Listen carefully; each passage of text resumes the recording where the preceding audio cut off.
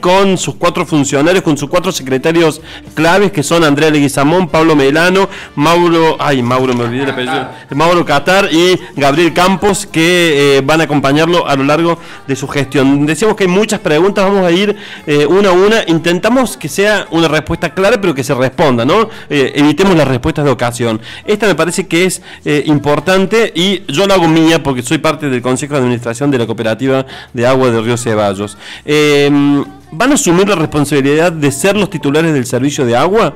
Que hasta ahora ningún intendente tomó ese rol eh, por las astas. Bueno, en realidad lo que se pregunta acá es, ¿va la municipalidad a decir, hacerse cargo de que es la titular del servicio, de que eh, la cooperativa tiene que prestar un servicio, pero que también la municipalidad debe ayudar a la cooperativa y gestionar con la provincia para que no haya problemas como los que hemos tenido históricamente en el río Ceballos en relación al agua?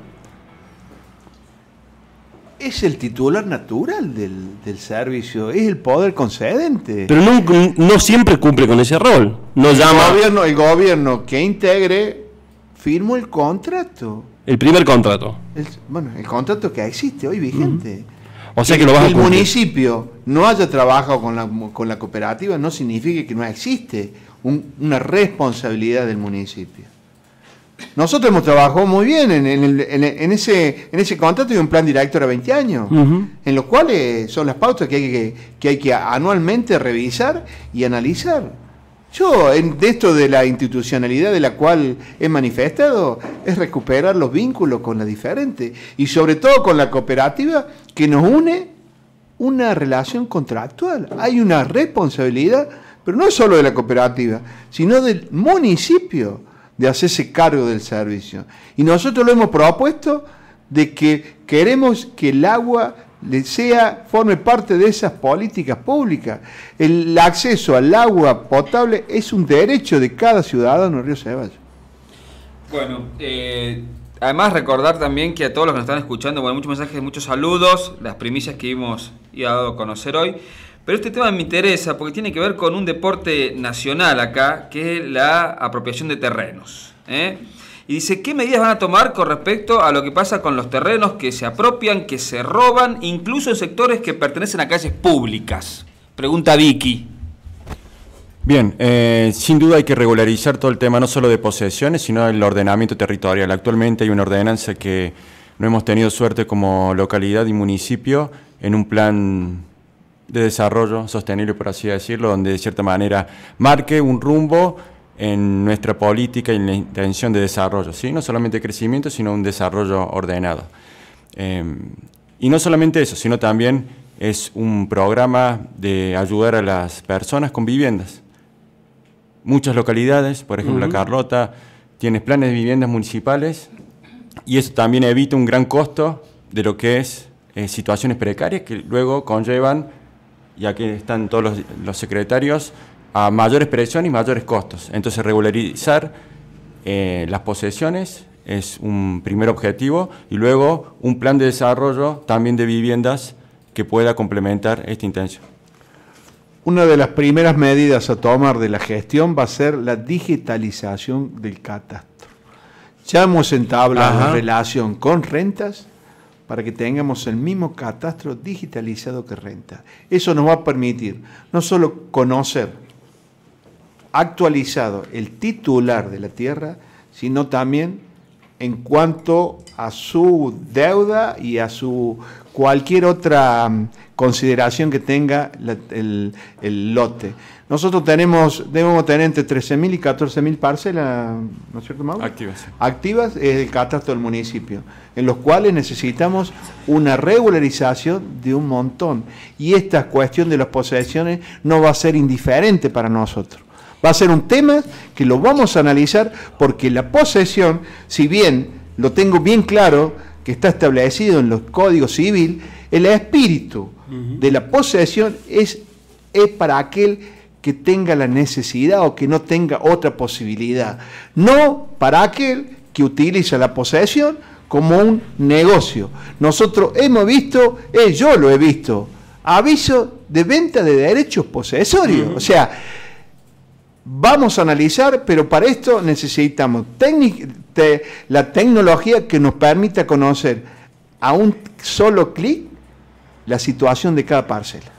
Eh, y, también me gustaría saber en relación a eso, eh, en relación al tráfico de información, ¿no? que sabemos que ha sido histórico en este pueblo eh, y que a veces me pregunto si sabremos ¿Cuándo fue que algunas personas obtuvieron ciertos terrenos que eh, eh, hoy son de ellos y que eh, llamativamente llegaron a sus manos? Bueno, em, ¿ven posible la aprobación de, de la, aprobación de la ordenanza de la ley Micael en Río Ceballos? Y si ven y, si van a articular con el polo de la mujer. Ya está. Sí, sí, ah. absolutamente. La, hay una ordenanza que adhiere a la ley Micaela, ya está aprobada se aprobó, no sé si este año o a fines del año pasado, más o menos al mismo tiempo que los municipios, el resto de los municipios de las Sierras Chicas. Este, por supuesto que hay que reglamentarla. Y a nivel provincial todos sabemos que ya se han iniciado hace pocos días eh, las primeras capacitaciones y de hecho nosotros además tenemos el orgullo de que forman parte de nuestro equipo municipal eh, mujeres que son parte de los equipos capacitadores de, provinciales. Por lo tanto, sin duda vamos a establecer un vínculo directo este, y, muy rápidamente para que esa capacitación se haga realidad. Y nos comprometemos que sea en la ciudad de Río Ceballos no solamente para todos los funcionarios, sino a todos los que la ley le compete que, se, que tomen esa, ese curso. Acá hay una pregunta que es más de tono político. Dice, llegan las elecciones de presidente, elecciones generales el próximo fin de semana. Eduardo Valdás y su equipo trabaja por la boleta corta Hacemos por Córdoba, trabaja por un presidente que sea del peronismo o toma la misma postura que es Chiaretti, que no se define por ningún candidato. Lo voy a decir em, que nosotros estamos trabajando. Hoy justamente Pablo Melano me comentaba que tenemos la gente de nuestra juventud dándonos. Em, acercando la boleta corta y también un instructivo, porque eso ha sido una decisión del gobierno, del, no del gobierno, sino del presidente del partido a nivel provincial, de que esa sea la metodología para la elección del, del presidente, pero también nosotros ya hemos, por lo menos personalmente lo quiero manifestar, porque yo no puedo inducir dentro de mi espacio político, porque tenemos una eso, una apertura en cuanto a la, la, cuestión presidencial, el tramo presidencial, pero sí quiero manifestarlo públicamente, personalmente, que yo estoy trabajando para que sea Fernández, o sea, para votarle a presidente, a Fernández, porque convencido de la necesidad de contar con un gobierno que sea del eh, peronista y sobre todo que tengamos la posibilidad de la gestión, la puerta abierta con la, con la, con la nación para conseguir todo lo necesario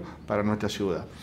En esto he tenido siempre la claridad de decir, de, expresarlo y, y sostener con el pensamiento este, de que quien gobierne a Río Ceballos tiene que tener la posibilidad de de tener abiertas todas las puertas para gestionar todo lo necesario, porque sabemos en la situación que está nuestra ciudad. Eh, sobre eso un par de preguntas políticas también. Eh, hablamos el otro día con, eh, con Jorge Fabricín, el intendente de Unquillo, yo le hacía una broma, le decía que me parecía que a vos te iba a costar menos votar a Fernández de lo que le iba a costar a él, a la hora de entender lo que es Unión por Córdoba, ¿no? como hay intendentes de Unión por Córdoba que tranquilamente van a votar a Fernández como candidato a presidente y otros que tranquilamente podrían votar a Macri, como seguramente va a ser René. pero por ese lado entró otra conversación que tiene que ver con el vínculo que vas a tener finalmente vos con la provincia. ¿Qué me decía Fabricín? Él asumió con un municipio en crisis, con eh, empleados también incorporados en la última parte de la gestión Jalil, y cuando me explicó eh, el apoyo que tuvo de la provincia me lo resumió en dos cosas.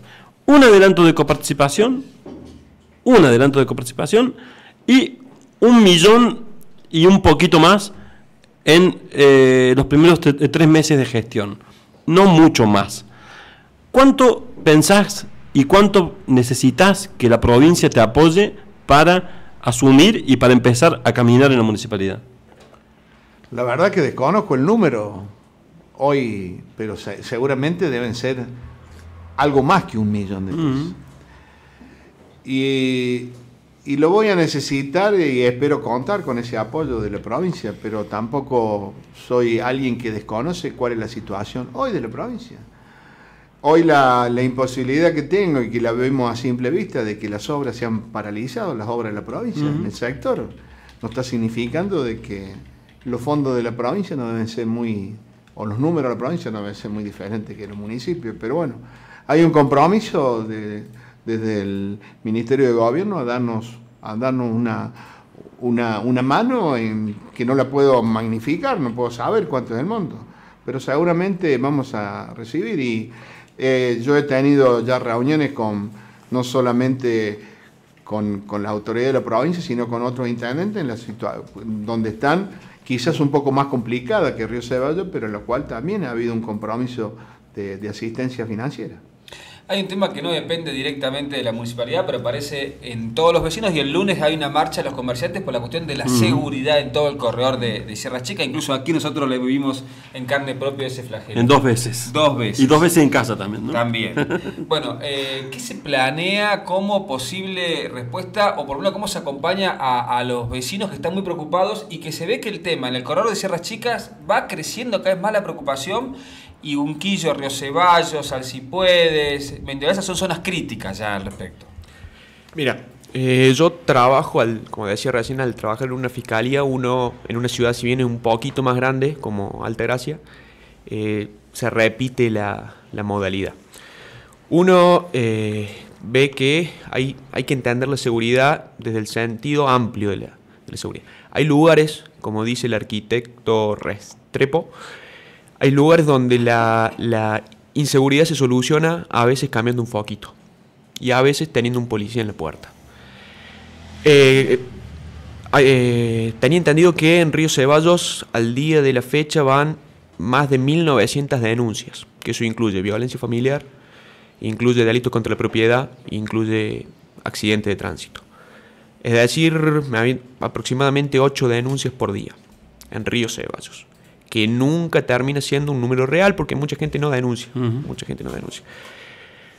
Eh, ¿Cómo creo yo que se debe trabajar? Además de esto que siguiendo esos consejos, eh, trabajar fuertemente con la policía de la provincia de Córdoba, que es la encargada de la seguridad, de brindar la seguridad y con el Poder Judicial. Acá se creó una, unidad judicial móvil, que eso nos puede permitir eh, los sumarios, la denuncia, trabajarlo más y tener un mapeo más preciso de dónde se están cometiendo los mayores delitos de la zona. Eh, y otro tema muy preocupante es la violencia familiar, que ahí cuando hablaban del polo de la mujer es muy importante trabajar con, bueno, en este caso Claudia Martínez, porque es un tema recurrente y que cada vez va subiendo de, en gravedad y en cantidad. Pero también Dante, la necesidad de asumir, sí, como lo dijo Pablo, la responsabilidad de la seguridad es de la provincia a través de, lo que es la policía. Nosotros también podemos aportar, y el municipio puede aportar, como lo dijo también, a través de la mejor iluminación, a través de, la, de, la, limpieza de los sectores baldíos, pero sobre todo aprovechar también lo tecnológico, la tecnología, porque me parece que es, es importantísimo. No sé si vos sabías, en Río Ceballos existen 40 grupos de WhatsApp de seguridad. Mm. Me parece que hay una necesidad de, lo tecnológico de lograr a través de un sistema en el cual hay un ingeniero que nos está, no está articulando de ver cómo hacemos no solamente para que esa mejorar eso, sino también para lograr una mejor articulación de esos 40 grupos, tanto con el municipio, para que no solo sean los otros 40, sino que quizás todos los ciudadanos de Río Ceballos tengamos la posibilidad de estar conectados. Y tengamos, y tengamos la, obviamente habría que hacer un protocolo, protocolo de utilización de esos WhatsApp para que esto no... Pero me parece, me parece que nos pueden dar una mano y me parece que hay algunas herramientas, como por ejemplo esta manifestación de los vecinos, esta cuestión de, de las autoridades, la, eh, he, encontrado predisposición de las autoridades de la, de la, de la comisaría local, de estar presente y de dar la cara, porque de esto se trata. Me parece que cuando a veces la gente eh, reclama, me parece que es importante que los que tengan responsabilidad estén al frente. Y nosotros estamos asumiendo el compromiso de dar siempre la cara. Eh, eh, en, relación a eso, La verdad es que no sé en qué área va a estar, pero hay un montón de energía puesta en cosas que al final están vinculadas con la seguridad, ¿no? Hablabas del césped, de los baldíos, de la iluminación. Yo te puedo decir que hay una Sí, estructura de- como de la Guardia Urbana Municipal. hay una estructura como la Guardia Urbana Municipal que uno no termina de entender qué hace. Parece que eh, están ahí y quieren ser policías cuando en realidad uno entendería que deberían ser un organismo democrático que inclusive controle a la policía y no que sea, entre comillas, el que va al lado de la policía. Me parece que son roles diferentes. Por otro lado, me pregunto, y después que me respondan esto, ¿qué va a pasar con Defensa Civil? No sé si seguimos en condiciones de que Defensa Civil sea ad honorem con lo que está pasando, los fuegos de hace algunos días. En toda esa, en todo ese espectro hay mucha energía puesta y me parece que no está conducida o no está eh, direccionada para que sea una misma área, ¿no? N- No sé quién lo va a manejar y, Y déjame complementar, Dante, eh, la generación de empleo. La Mm, generación tal de cual. empleo es tan importante eh, y es una necesidad si uno empieza en esta mul- multirazón que hay de causas por la cual la gente hace cosas que no están bien, ¿cierto? Y en el supuesto de que son todas buenas personas, también hay un programa de desarrollo, no solamente para, mediante, como dijo Gabriel, el parque industrial de grandes inversiones, sino también para aquellas personas que hay muchísimas y que lo vemos toda la semana, que son los microemprendedores. Entonces, darle una mano, generar empleo, darle oportunidades, eso también creemos con convicción que va a reducir fuertemente estas acciones, ¿sí? que lo vemos hasta en- tal vez en adolescentes, ¿sí? y tal vez nos sorprenden, pero bueno, pasan y, y es una obligación también ética nuestra poder darle una mano. Yo quiero hacer dos preguntas. Porque Defensa son temas civil, puntuales. Ah, defensa civil nos quedó. ¿qué va, qué va? Defensa Civil, eh, estuve conversando con quienes hoy tienen. Está. mm, Lamentablemente está. No es que esté sin gente, o sea, la gente está porque son todos voluntarios, me parece, pero que hay que darle la importancia que tienen. Aparte de un trabajo que se comenzó y hoy tienen. O sea, hoy hay protocolos que no- no nos permiten conocer eh, la situación de crecimiento del arroyo en diferentes puntos de Río Ceballos y me parece que es bueno que la gente lo conozca, o sea, que también y que también pueda colaborar. Digo eso después de esta cuestión que nos pasó el 2015, pero co- coincido con vos que me parece que eh, es mucho más amplio también la posibilidad que tenga Defensa Civil. Por lo general, Defensa Civil siempre fue esto, fue un cuerpo, un cuerpo de voluntarios que ante un acontecimiento, ante una magnitud de, de algo que no sucede, se convoca. Me parece que hay que darle una vuelta de rosca y ver la posibilidad. Fundamentalmente hoy yo lo que le he garantizado, una, volvernos a, volver organizar y fundamentalmente dotarlo de los elementos necesarios para que puedan cumplir con su rol. O sea, hoy no tener un vehículo, hoy no tener las herramientas necesarias, como por ejemplo una linterna, y lo hacen realmente desaprovechar la ciudad, ese voluntariado que tiene, que lo hacen de corazón y lo hacen porque tienen la vocación de servicio. Y si hoy no somos capaces de brindarle lo elemental, y no tenemos razón de, de- de estar en los lugares que, que- que estamos. Eh, Decías que le van a dar la cara siempre al vecino. ¿Quién va a ser el funcionario que va a tener que poner la cara ahí en la trinchera? Y planteo situaciones puntuales. Por ejemplo, cuando uno se quema un foco en un barrio, uno habla y te dicen, compren ustedes el brazo, compren la lamparita y nos avisan y vamos nosotros y lo cambiamos. O por ejemplo, vas a pedir el camión de agua y te dicen, subimos solamente los lunes y los jueves porque si no además nos agreden, nos tiran piedras y el camión corre algún peligro de que sea atacado y tenés que esperar la buena voluntad de algún funcionario que le diga entonces al otro muchacho que maneja el camión que haga un viajecito más. Digo, esas cosas que al vecino lo pone muy mal. ¿Quién se va a encargar de eso? Yo he dividido dentro de la secretaria que le compete a Gabriel Campo que el municipio brinda servicio. Y por cada servicio que brinda el municipio lo he dividido.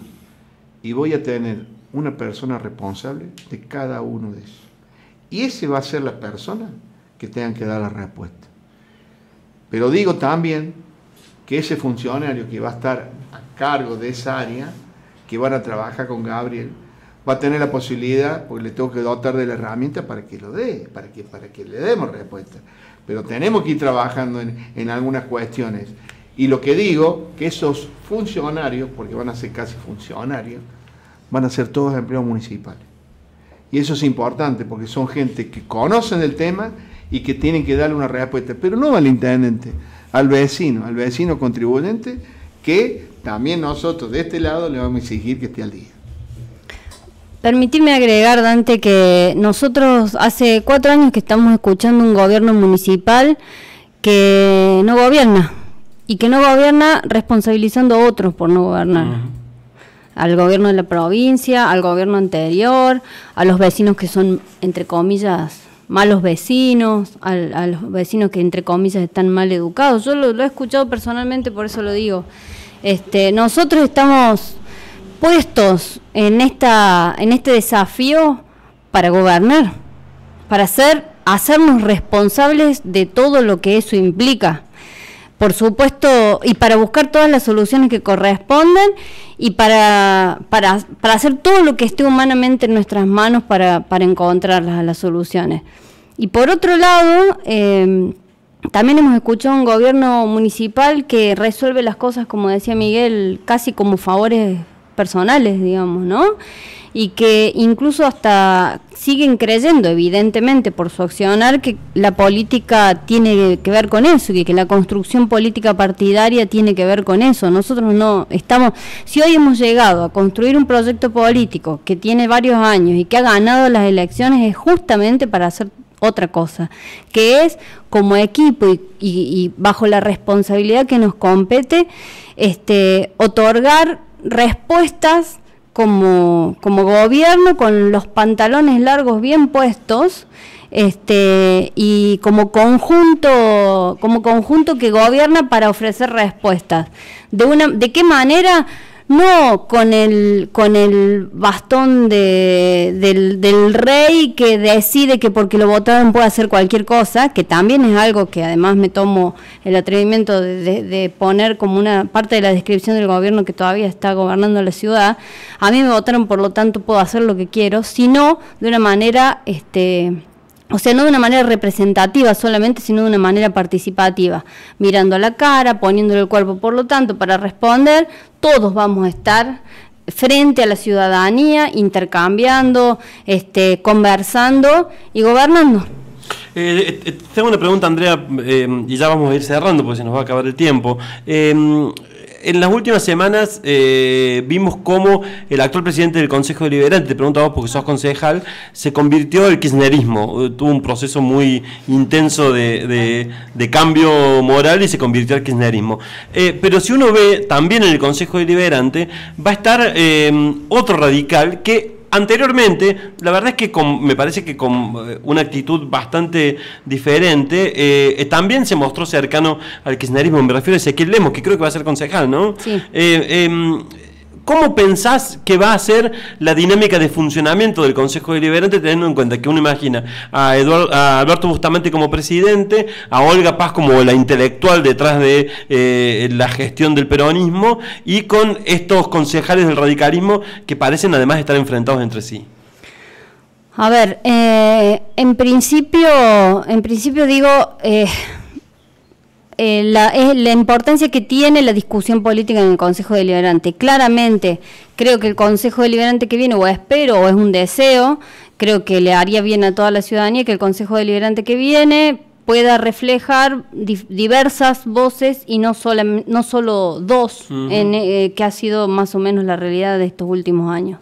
Eh, en general estos últimos años han funcionado como un bloque, cinco o seis concejales y la minoría está expresada por mí y en algunos momentos por el concejal Rutili. Este, a mí me parece que, que es, a ver, si hay algún alguien de estos concejales que representa la puesta en marcha de políticas neoliberales, eh, es Rivero, porque es el presidente del Consejo Deliberante de, de Albanese, que han replicado eh, de un modo más, más pequeño, si se quiere, pero en nuestra ciudad, eh, políticas que tienen que ver con, muy relacionadas al gobierno nacional, de Macri, ¿no? Este, por lo tanto, el, el salto del concejal Rivero no es un salto en un tobogán de plaza, sino una alfombra mágica, digamos, una cosa increíble que de golpe de ser un, representante y defensor de, estos otros modos de gobernar, hoy le falte solamente hacer la vez de la victoria para decirse peronista. Eh, Eduardo, yo tengo dos preguntas eh, finales eh, y, los despedimos. Primero, ¿qué vas a hacer con Albanese dentro del municipio? Albanese es un hombre que ha jugado siempre políticamente dentro del municipio, que ha sido un empleo muy importante, que ha, sido, ha tenido peso en el gremio y que eh, después de ser intendente, con las lógicas con las que él consideró que eh, debía serlo, casi como un patrón de estancia, va a volver a ser empleado, va a ser subordinado de tus funcionarios y tuyo. Pero ha dicho que va a seguir haciendo política. Va a ser eh, fácil, va a ser difícil. ¿Cómo vas a hacer con eso? No lo, no lo he pensado. Llegará el momento y analizaremos la situación. No, no es un tema que hoy me preocupa. Y los empleos municipales que eh, han tenido una gran relación con él en los últimos años, que han conseguido eh, mejoras importantes en sus, en sus ingresos con las discusiones paritarias y que hoy están muy contentos con la incorporación, por lo menos el gremio, o por lo menos así lo transmite gente del gremio, con esta incorporación que vos estás poniendo en discusión. ¿Qué, mm, ¿Qué les decís o qué, o qué pensás que va a, cómo que- va a ser esa lo- lo relación? que he dicho siempre, nos tendremos que lo tendremos que sentar en una mesa responsablemente y, llegar a los consensos necesarios para no solo lo mejor para, para el municipio, sino también para cada uno de los empleados municipales. ¿Qué va a pasar con eh, los referentes del peronismo local? Eh, Espiconia y Chichimulúa se hicieron un costado para que vos fueras el candidato de la unidad. Los conozco a los dos desde hace muchos años y eh, uno imagina que algo pretenden, algo querrán, eh, además de acompañarte como Creo que intendente. lo que pretenden es que, no, que, el- que a la gestión le vaya lo mejor. Eso es lo que pretenden. Los dos. Yo quiero hacerte la última, a todos se la hago y aprovechemos esto porque desde el 10 de diciembre les van a pedir cosas a ustedes. Si tenés que pedirle algo a los vecinos de Río Ceballos, ¿qué les pedís hoy casi a un poquito menos de dos meses antes de asumir? Porque hay un componente cultural también importante acá, ¿no? ¿Qué le pediría? Que nos acompañen, que se comprometan con la próxima gestión a recuperar nuestra ciudad. Nosotros sabemos, estamos convencidos de esto. No lo vamos a poder hacer solo. Si nosotros no, no, no, no, no, y esto no es una cuestión de sentir, sino una cuestión de, de, cuerpo, de ponerle el cuerpo, de comprometerse realmente a trabajar por recuperar nuestra ciudad. Y como lo he dicho, lo he manifestado, o sea, una ciudad en la cual ya hemos vivido, o sea, nosotros hemos vivido en una ciudad diferente. Y esto me voy a remontar a lo que me preguntó Dante, porque me vuelve, me vuelve a quedar eso de que no, no vamos a hacer Dante, no vamos a hacer algo, una, un, como una- un gobierno de paso. Y cuando vos me preguntabas y me decías tres cuestiones, te lo, voy a, te lo voy a manifestar y te lo voy a decir en los tres principios políticos que nosotros propusimos a la sociedad. Y nosotros le propusimos calidad, calidad de los servicios, porque el municipio recauda de acuerdo a los servicios, o sea, es una prestadora de servicios y debemos de alguna forma lograr la eficiencia, lograr la calidad en la gestión. No va a ser sencillo, pero estamos, hemos articulado de esta forma que yo lo dije, la Secretaría y los responsables, para que el municipio tenga la mejor propuesta en cuanto a los servicios. También te dije otro principio, que es la participación. Si nosotros hemos encontrado algo bastante dañado, ha sido la falta de institucionalidad. Hoy las instituciones de Río Ceballos intermedias están peleadas con el municipio.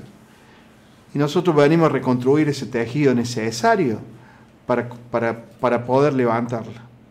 Y el último principio que para nosotros es básico es la transparencia. Pero la transparencia en toda su, su magnitud. Estas democracias representativas se, van convirtiendo en, en democracias participativas. Y nosotros estamos asumiendo el compromiso que vamos a hacer un gobierno abierto, un gobierno transparente, en donde vamos a publicar todo lo que se denomina público. La gente tiene que entender que todo lo que maneja el municipio y tiene la denominación pública es de acceso público, como por ejemplo los números del municipio, Los números del municipio lo van a tener permanentemente la posibilidad de acceder. Pero no solo eso, sino también a los decretos, a la forma de contratar, todo. Porque tenemos la convicción de que la única forma de revertir esta idea de la gente que tiene que la política es mala. No, no nos equivoquemos. La política es la herramienta de transformación social. Y nosotros, y esto debo destacar, no solo los cuatro que hoy me acompañan, sino todos aquellos que forman parte del equipo, que lo hemos construido no solo desde la capacidad y de la idoneidad, sino también desde los afectos. Y lo que puedo decir, que cada uno de ellos me transmite la enorme vocación de servicio que tienen y que estoy seguro que se va a manifestar en la próxima gestión. Andrés, ¿quiere decir algo? Sí, difícil agregar algo, pero sí más en términos prácticos, este, acuerdo en todo lo que dijo Eduardo, pero en términos prácticos me atrevo a proponer a la ciudadanía que cuando se acerquen a, eh, por demandas eh, y necesidades, se animen a pensar eh, de qué man ellos que no solo vayan con la demanda y la necesidad, sino que vayan con un par, al menos dos, opciones para resolverlas, factibles de ser aplicadas en nuestro municipio con nuestra realidad. Eh, Eduardo, no me quiero ir sin hacer esta pregunta. Hay una persona que ante la falta de información del municipio se ha convertido en clave para la comunidad de Río Ceballos y en clave para la política de Río Ceballos. Eh, es un nombre muy poco querido en este pueblo, pero en este pueblo, un funcionario municipal lo agarró a trompadas por lo que publicaba en redes sociales. Me refiero a José Horacio Ray. Eh, creo que en ese contexto también hay que ver la manera en que la actual administración se vinculó con eh, la sociedad. Eh, en esto del el gobierno abierto que has planteado y de la información pública, eh, ¿va a haber alguna eh, centralidad en eh, una página web donde se puedan consultar cosas? y la posibilidad de hacer críticas. Y la posibilidad de hacer críticas también, y que no pase como otro funcionario de este gobierno que también amenazó a la misma persona de agarrarlo trompadas cuando deje de ser funcionario, ¿no? Lo cual es una locura. Nosotros vamos a utilizar todas las posibilidades que tenemos a través de las redes. Todas. Cuando te digo todas, te significo hasta poder llegar en algún momento a tener un app en el teléfono del, de cada vecino de Río Ceballos en donde pueda transmitir no solamente una crítica, sino también una inquietud y también un reclamo. Tenemos que estar abiertos, no tenemos, si nosotros, nosotros estamos pensando y la gente de comunicación que tiene un rol importantísimo en esto, están pensando también en tener la posibilidad que la gente se exprese y que no solo se exprese, sino también que obtenga, obtenga una respuesta. Que evidentemente no sé si será la más, la más conveniente o lo que quiere escuchar, pero sí, vuelvo a decir, debemos volver a, la cuestión de, esta, de, aprovechar todas las oportunidades que, que, la, que la tecnología nos permite tener, tener contacto directo con la gente. Y no me quiero ir antes sin decirte que también me venimos por la modificación de la carta orgánica. Vamos.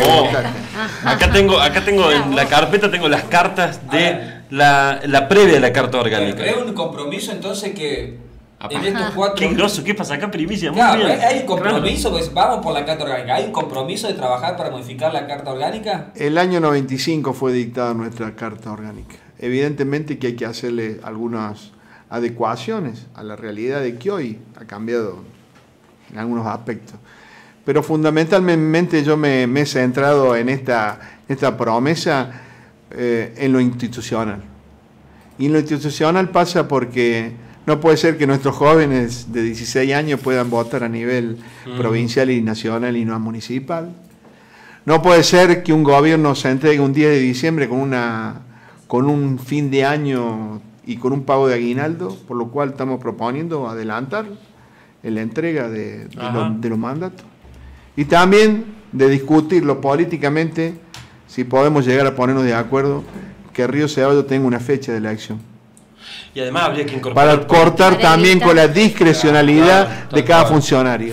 Entonces, sabemos que tal día o quizás, o quizás eh, también porque existe la otra alternativa de que tenga que ir con una provincial o con una nacional. O sea, buscarle la diferente alternativa. Esto- por eso te digo, pero estas cuestiones que estoy planteando, las estoy planteando en el terreno de una discusión, de un consenso, No, o sea, además- no, de, no de alguna cuestión, pero eso, porque es necesario que todos estemos de acuerdo. Claro. Y las cuestiones de ambiente, incorporarlas, las cuestiones de comunicación. Bueno, eh, última primicia, nosotros nos despedimos. Sí, hay que decir que A el ver. resto de las preguntas que llegaron, que son un montón, Montón. como por ejemplo las de Alicia, que hablaba, le preguntaba por el tema de salud, lo que también preguntaba Laura con el tema de la unidad judicial, lo que preguntaba Elena Sánchez sobre el tema de Villa Los Altos, se lo vamos a pasar todas al intendente y a su equipo, pero se nos acabó el tiempo. ¿eh? Bueno, estuvimos haciendo el programa de hoy con cuatro invitados, eh, más el intendente de la ciudad, el intendente electo Eduardo Baldassi, estuvo Mauro Catar, estuvo Gabriel Campos, estuvo Pablo Melano y estuvo Andrea Leguizamón.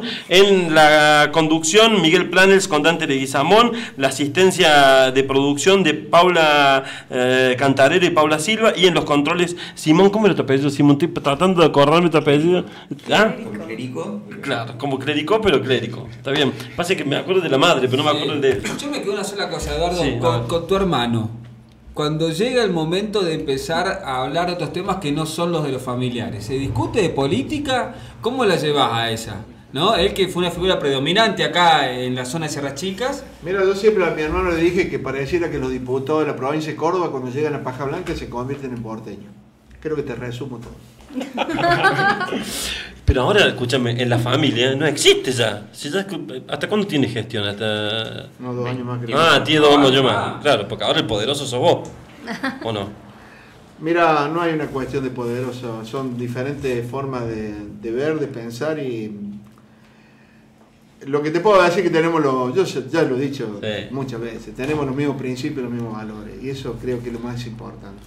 Podemos pensar ideológicamente diferente, pero en definitiva lo que tenemos es una gran vocación de servicio y de, y de pensar en la gente. Creo que eso es lo más importante. Bueno, nos acompañaron a lo largo de toda la mañana muchísimas personas, les agradecemos a todos eh, y ha sido un placer estar con ustedes, ojalá que puedan cumplir con... Muchas gracias por la invitación. Bueno, eh, de nada. Y, y Buenavista Radio es un espacio abierto. Muchas gracias eh, donde pueden estar y donde se los va a, tratar partir bien y mal. Empezamos de- a criticar. Claro, a partir de diciembre comienza la crítica despiadada, feroz. Pero dijeron que le van a aceptar. Eh, La otra socia no habla. Hay una socia que está acá y no habla, escribe nomás. Bueno, voy a hablar, me, me Claro, cansé de escribir. claro. Eh, vamos con un tema dedicado especialmente al intendente, Ah. que le gusta mucho. Ah, que- eh, Para que le vamos a regalar una taza que dice soy cursi y me gusta. Bueno, ahí está, perfecto. Para contar, contarse que dice soy cursi y me gusta. Nino Bravo, vamos a escuchar. Nino Bravo. La está. verdad, la verdad que es un gusto estar y les agradezco a quienes me dieron la posibilidad no solo de, de, de- de lograr lo que hoy tengo, sino también a ustedes que abrieron esta, nos abrieron esta radio cuando iniciamos con este proyecto, con este proceso. Y es muy grato hoy estar eh, en esto ya con diferente responsabilidad. Y decírtelo públicamente, Dante, que te tengo un aprecio personal. Igual. Y fuiste una de las personas que, lo debo decir, Ujú. que más eh, o me impulsó al lugar que hoy ocupo. Bueno, nos despedimos con Nino Bravo y el intendente. Eso te compromete más. Sí, ahora, ¿eh? sí, Pero, tenés que El 11 de diciembre tengo que hacer algo muy malo. De- tener que opositor, Tal cual, tal cual.